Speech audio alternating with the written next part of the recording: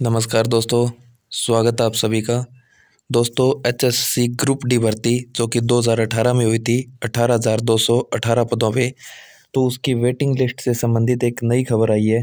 तो यदि आपने पेपर दिया है तो आपके लिए ये मोस्ट इम्पोर्टेंट खबर है।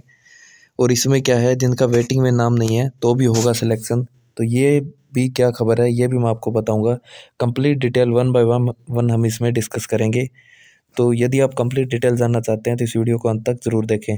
दोस्तों वीडियो में आगे बढ़ने से पहले आप सभी से रिक्वेस्ट करूँगा, इस वीडियो को लाइक ज़रूर करें और अपने दोस्तों के साथ ज़्यादा से ज़्यादा शेयर करें।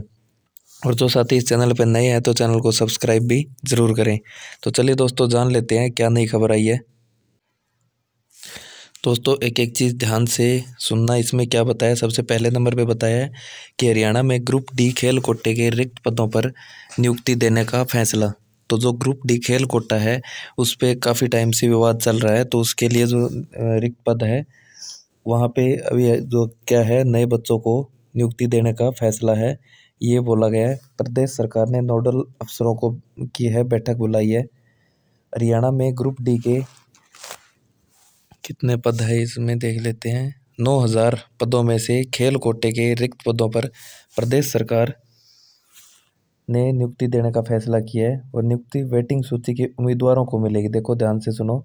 और जिनके पास खेल ग्रेडेशन सर्टिफिकेट होगा, इसके लिए विभाग के नोडल अफसरों की बैठक मंगलवार को हरियाणा कर्मचारी चयन आयोग की सचिव ईसा कंबोज की अध्यक्षता में होगी।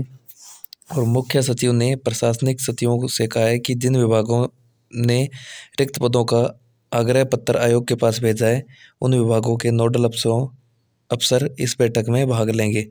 तो इसमें जो मेन मेन चीज़ है, मैं बता देता हूँ, खेल कोटे के लगभग चार सौ पद है, जो कि रिक्त है। तो इसके लिए जो चीज़ इसमें बताइए, मैं बताता हूँ आपको। अब ये फैसला लिया आयोग ने, सरकार ने, कि इसकी जगह पे या तो वेटिंग में या फिर वेटिंग के अलावा जिनके पास खेल ग्रेडेशन के सर्टिफिकेट है, और वो कौन कौन से हैं?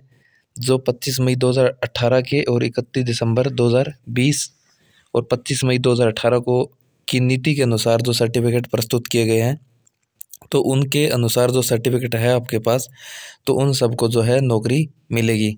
तो चार सौ के आसपास पद खाली है और इनकी जो लिस्ट है, वो जल्दी ही आपको देखने को मिलेगी।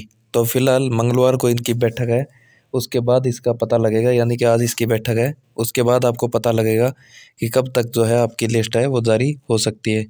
तो दोस्तों, यही एक इम्पोर्टेंट इन्फॉर्मेशन थी। आपने ये वीडियो यहाँ तक देखी, आपका बहुत बहुत धन्यवाद।